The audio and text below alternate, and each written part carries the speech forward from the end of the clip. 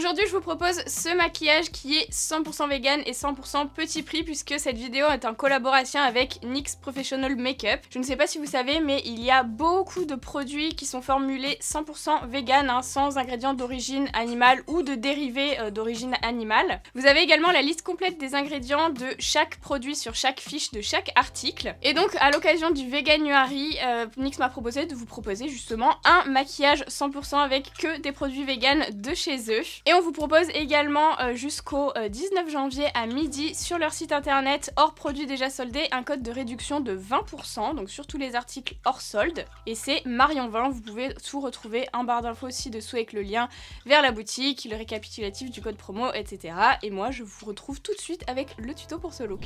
Je vais commencer euh, mon teint avec euh, une base une nouveauté que j'ai acheté là il y a pas très longtemps sur, bah, sur le site Mix forcément. C'est la Plump Right Back sérum et base repulpant donc, comme vous le voyez j'ai vraiment pas du tout ouvert je vais ouvrir avec vous ah non, là je dévisse. Hop. La peau se sent et apparaît repulpée instantanément à utiliser seule ou avec du fond de teint. On va utiliser du fond de teint. Donc c'est joli au niveau du packaging, j'aime bien. Donc je vais en mettre... Ah c'est... Oh je m'attendais pas du tout à cette texture, regardez, c'est euh, bah, comme euh, les, bases euh, en silicone, vous savez, un, peu épais, un peu en gel. Oh Ça sent trop trop bon Ça sent un parfum que je mettais à l'époque, ça sent le Eau Torride de chez Givenchy. Je sais pas si vous avez connu ce parfum, c'était un de mes parfums préférés, ben j'étais au collège, hein. donc c'était très très, c'est très très vieux. Mais ça sent ça, ah, ça, ça part vite par contre le parfum. Mais j'aimais trop ce parfum, ils l'ont arrêté depuis très longtemps, mais il sentait vraiment trop bon. Bref, oui, quand j'étais au collège, je mettais des parfums Givenchy. Enfin, non, en fait. Je mettais des parfums au jeunes. J'avais acheté ce parfum-là parce que je trouvais qu'il sentait trop bon. Je crois que c'était une de mes profs qui l'avait. C'était ma prof d'anglais, je crois. Et je lui avais demandé ce que c'était parce que je trouvais que ça sentait trop bon et je l'avais acheté. Je m'étais ruinée. Ensuite, je vais utiliser une deuxième base. Ça fait longtemps que j'ai pas utilisé de base. Donc celle-ci plus là qui m'a réhydratée. Et ensuite la Pore Filler que vous devez connaître, je pense, qui est sortie aussi en petit euh, stick qui va justement venir combler les pores. Donc il doit avoir une texture qui ressemble à ce que je viens de vous montrer, peut-être un peu, plus épais. Je dis peut-être alors que je la connais. C'est pas une nouveauté celle-ci, elle existe depuis, euh, depuis un petit moment. Ah oui, je me rappelais plus du tout qu'elle était comme ça. Hop, vous voyez, beaucoup plus euh, épaisse, qui se tient beaucoup plus. Alors j'en mets très très peu. Ça, vous pouvez euh, l'appliquer sur l'ensemble de votre visage si vous voulez. Si vous avez la peau grasse, je vous conseille. Après, les pores, c'est assez rare, à part quand on a la peau vraiment très grasse, qu'on en ait sur tout le visage. Celle-ci, je vous recommande vraiment de cibler juste vos pores. Donc en général, c'est la zone médiane. Moi, en tout cas, c'est là qu'ils sont. Mais c'est quand même assez rare qu'on ait les pores dilatés sur les côtés. Mais enfin, ça peut arriver. Et il faut vraiment en mettre très, très, très, très peu.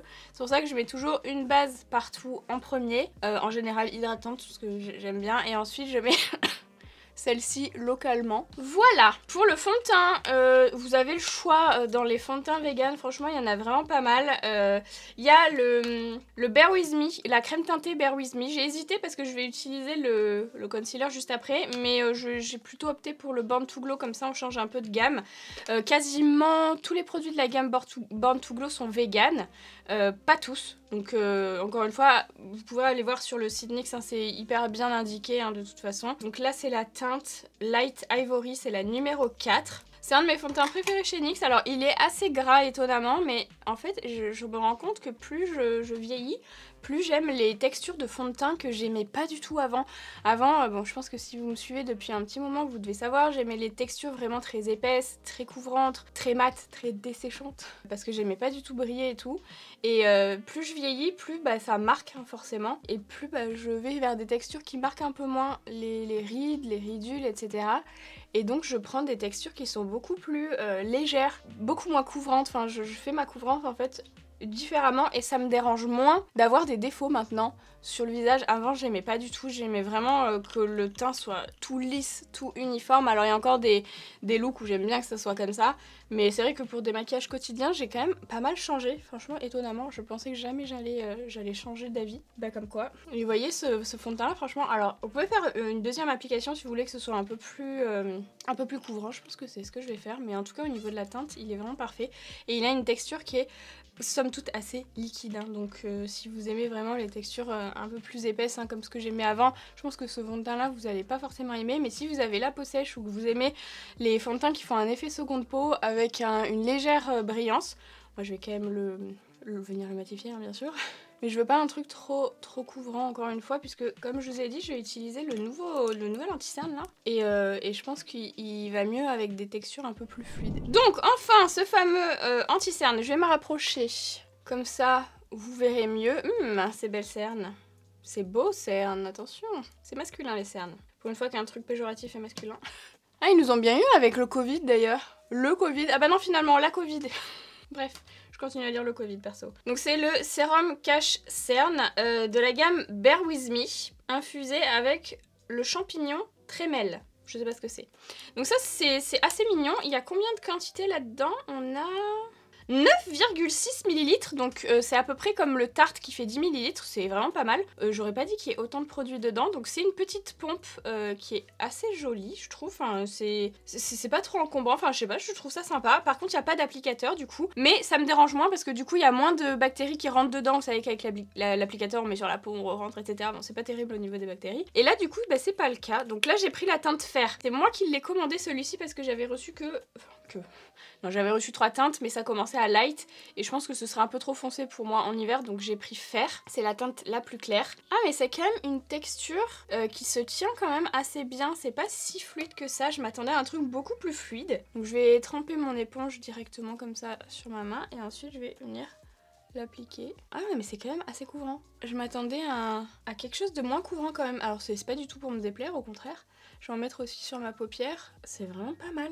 Donc il est dispo en 13 teintes et il va hydrater et camoufler les imperfections. On peut aussi l'utiliser bah, ailleurs, hein, sur les petits boutons par exemple. Et franchement, il couvre bien, non? Qu'est-ce que vous en pensez? J'aime trop la couleur, il s'est bien fondu. Il a une, une texture qui est hyper hydratante, donc je pense qu'il faut quand même le poudrer pour bien le, fixer. Mais en tout cas, il est très agréable au contour des yeux. Et je pense que justement, ce que je vous disais tout à l'heure, où j'ai la, peau qui a tendance à marquer un peu plus et tout, c'est d'autant plus vrai au niveau du contour des yeux parce que c'est là où la peau est la plus fine hein, sur le visage. Donc forcément, en plus, c'est une zone qui, a tendance à beaucoup bouger. Euh, voilà, on fait beaucoup de... De, de, petites ridules, de petits plis, etc. Donc ça a tendance à marquer quand le produit est un peu trop épais ou un peu trop sec. Là, je pense que même au niveau des matures, je pense que vous allez bien aimer. C'est couvrant, mais pas... Enfin, je sens pas du tout d'effet matière comme je peux le sentir avec le tarte, par exemple. Franchement, j'aime beaucoup.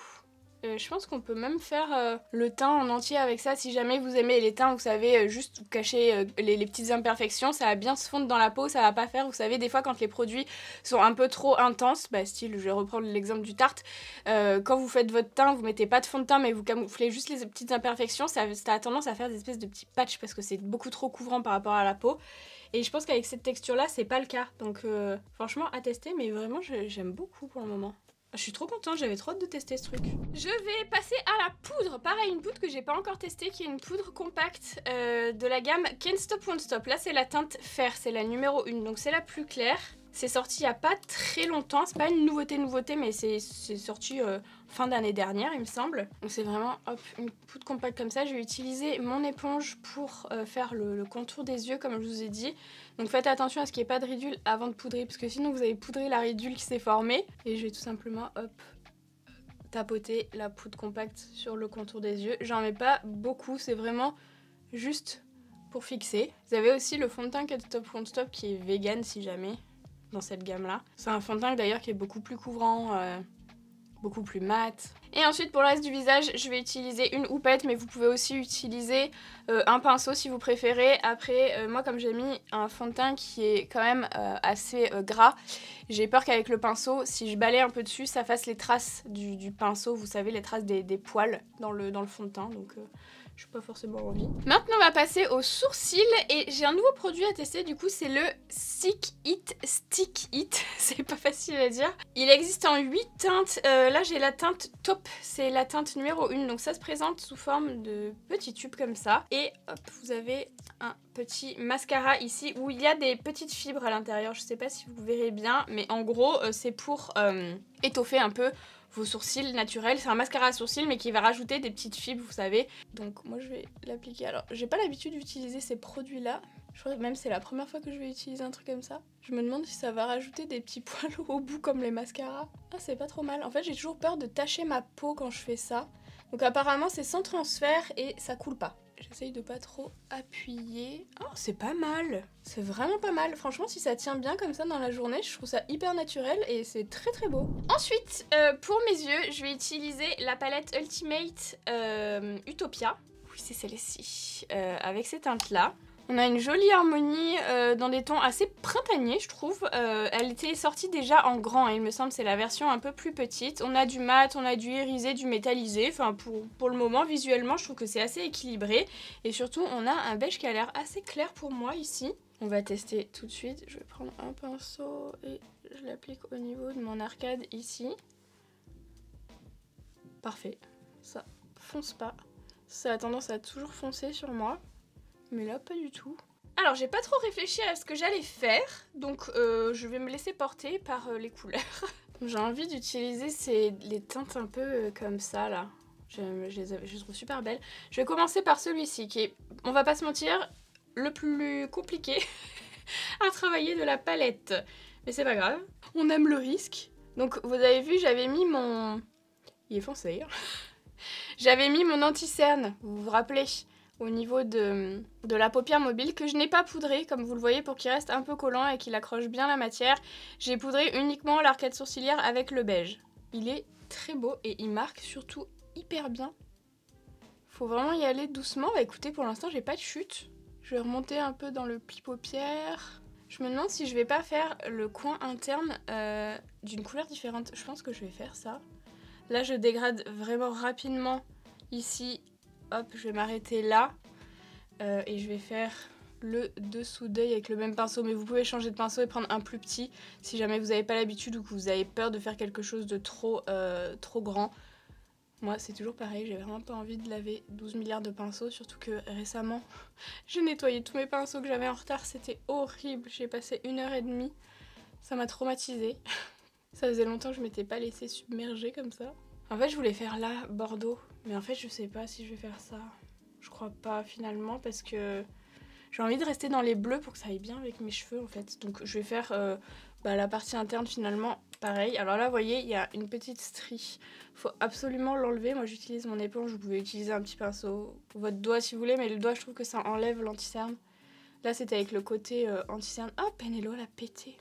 Ouf Donc vous voyez, je fais la même chose que ce que j'ai fait sur la partie externe, mais sur la partie interne, donc vraiment en symétrie. Et finalement, donc je vais relier en fait les deux parties au niveau du pli paupière, mais surtout je laisse cette zone vide puisque je vais venir appliquer un autre, un autre fard plus lumineux du, coup.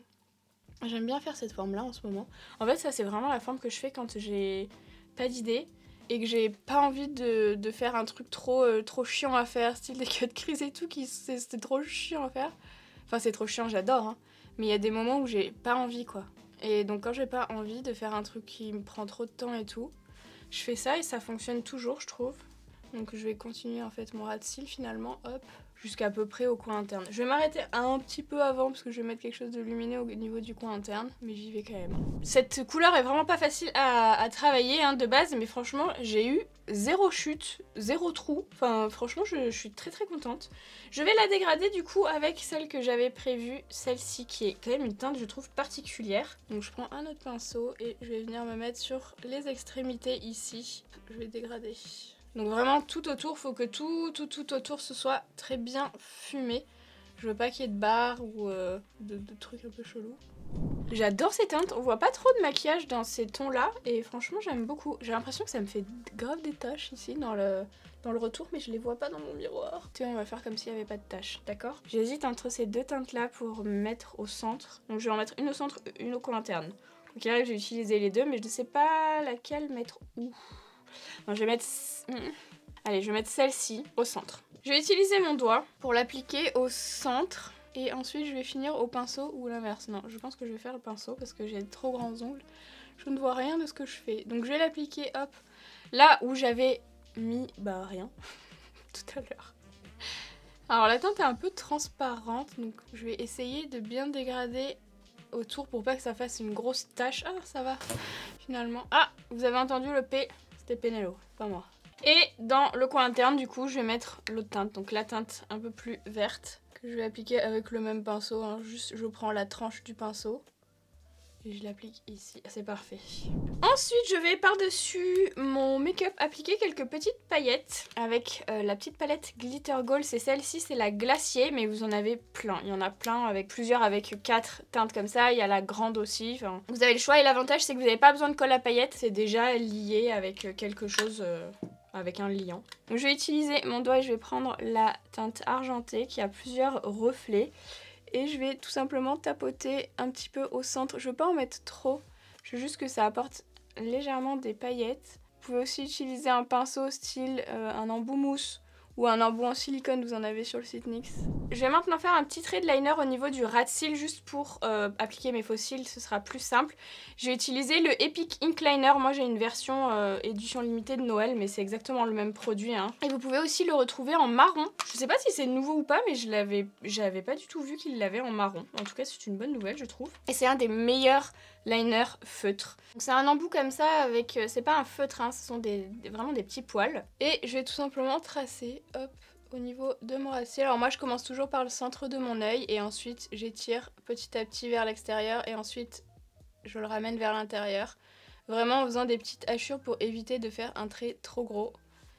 Et je vais vraiment juste suivre mon ras de cils. Voilà, j'ai terminé mes yeux, j'ai rajouté donc les fossiles. Et euh, au niveau des lèvres, il y a 6 nouvelles teintes des euh, Lip Lingerie XXL. Ce sont des teintes qui sont quand même assez foncées. Je sais pas si ça va très bien aller avec le maquillage que j'ai fait aujourd'hui. J'aurais peut-être dû regarder avant. Peut-être il y a le orange. Non, ça va faire trop avec les cheveux, c'est trop abusé. Donc les lingeries, j'imagine que je vous vous les connaissez. C'est vraiment le rouge à lèvres, enfin la gamme iconique de rouge à lèvres de chez NYX. Anax existe du coup en XXL comme ça. Ce sont des rouges à lèvres à fini mat avec une texture assez fine, vraiment lingerie en fait pour les lèvres. Je pense que je vais utiliser un marron. Je sais pas si ça va aller, mais écoutez, on va, tester. C'est le Goin Desnuda. Il s'applique super bien, mais alors est-ce que... Ouh là là, je sais pas si ça va aller. Il y a Penelo qui bouffe une bouteille. C'est censé jouer préféré. Je sais pas si j'aime le rouge à lèvres. Les cheveux, je, les ai coiffés vite fait, mais à chaque fois que je mets les barrettes, ça se décoiffe. Sous mes mèches de devant, là, ça reste jamais coiffé. Je les avais trop bien coiffés en plus, pour une fois. Merci beaucoup d'avoir regardé cette vidéo, j'espère qu'elle vous a plu. N'oubliez pas, euh, vous avez le code promo Marion20 qui vous offre 20% de réduction sur tous les produits du site nyxcosmetics.fr hors solde. Et il est valable jusqu'au, à partir de maintenant, hein, mais jusqu'au 19 janvier à midi. Vous avez tout le récap dans la barre d'infos. Merci beaucoup d'avoir regardé cette vidéo, j'espère qu'elle vous a plu. N'hésitez pas à la liker si c'est le cas, à vous abonner à ma chaîne si c'est pas encore fait. Et moi je vous dis à bientôt dans une nouvelle vidéo. je me suis un peu embrouillée, c'est la reprise.